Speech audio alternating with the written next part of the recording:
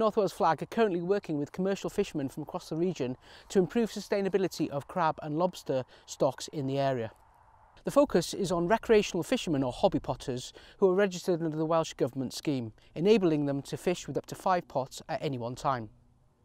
The commercial fishermen have identified potential issues in the way that hobby fishermen use their pots, in that they're not always fully aware of the impact that certain activities can have on crab and lobster stocks. This project aims to work with both commercial fishermen and hobby potters to alleviate that issue. Now this is a parlour pot, so she'll work her way up to here, she'll come through the gap here, then she'll be in here, which is what we class as the parlour.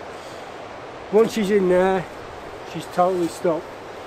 Now that's fine if it's a lobster of size, but if it's undersized, the chances are she's going to get beaten up in there by larger lobsters, larger crabs. These, which are escape gaps.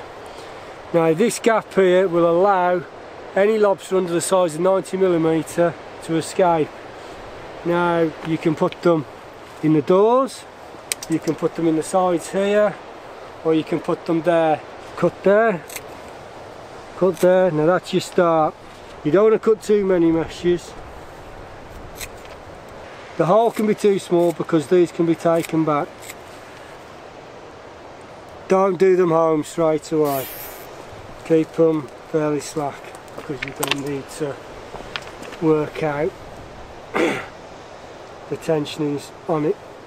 Is I always put one large one or two large ones because then when these eat away what you can do th these ones will stay in place.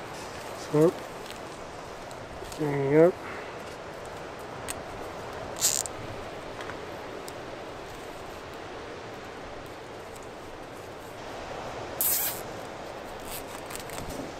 trimmings enough.